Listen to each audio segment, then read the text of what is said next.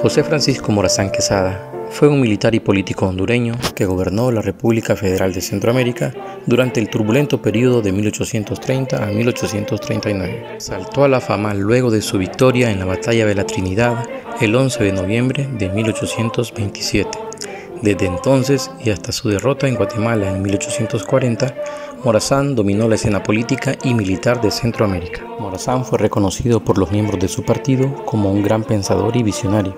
De acuerdo a escritores liberales, Morazán intentó transformar a Centroamérica en una nación grande y progresista.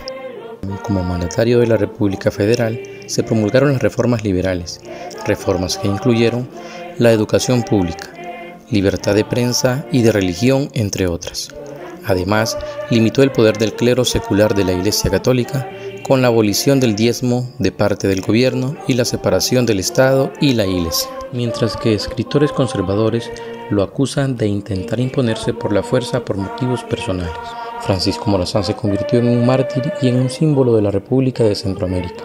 Él dio su vida tratando de preservar la unión de estos países se preserva su legado en el ámbito político con la idea de la integración que se conserva en la mente de muchos centroamericanos.